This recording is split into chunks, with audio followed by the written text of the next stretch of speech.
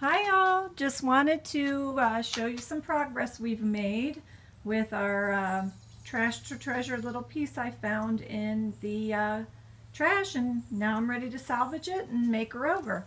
So back here, this used to be a desk piece and I'm just going to make it be a end table or a nightstand. So back here was the back panel. Up oh, and there's Cinnamon, my little sidekick. Hi Cinnamon, boo boo. Hi, can you say hi to everybody? She's hiding back there, so the lighting's kind of bad. There she is. So what I did was, first piece, um, I just stuck in a piece like this to kind of fill the gap. And I took my pencil, ran up my pencil to kind of create marks of how big I needed the piece to be. So I went ahead and did that. And I am going to stick in this piece that I already cut, and I already cut it with my um, Ryobi uh, circular saw. So I'm going to fill that piece in kind of like I just did there. Cinnamon's got to help me and check it out. And then I'm going to take my Gorilla wood glue and I'm going to fill in down that piece. And then there is also a little bit looseness back here because it's separating. So I am going to take that and put my glue in there and then I'll clamp it down once all the wood filler's in there. So I think Cinnamon approves with it. Um, so once that's done, then I'm going to take, I would usually take a wood filler, but that's over at my workshop, and today I'm working in the garage. Um, so what I'm going to use is what I have on hand, and this is how I work.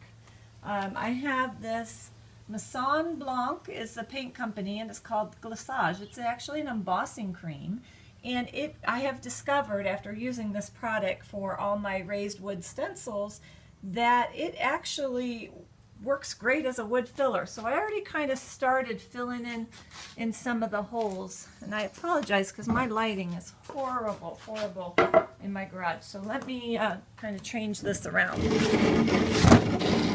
And maybe we can see a little bit. There we go. Okay, so you can kind of see here this um, hole that I have. And I just, I'm going to take this and I'm just going to kind of fill these holes just like you would wood filler.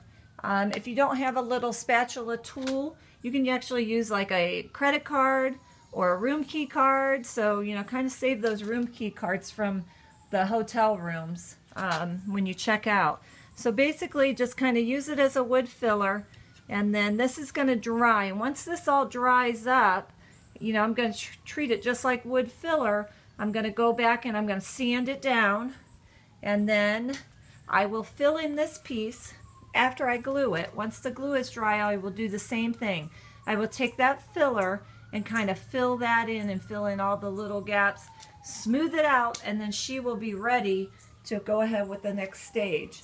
So in the meantime, I did go ahead and cut my wood boards from my first video.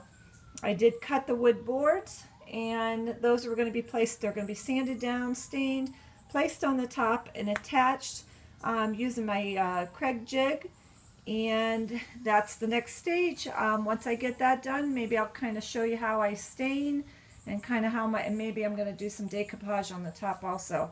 So she's coming along and can't wait to share with you all my next video on how, how she's coming along. So you can uh, also find some other great projects by visiting designdecor.com.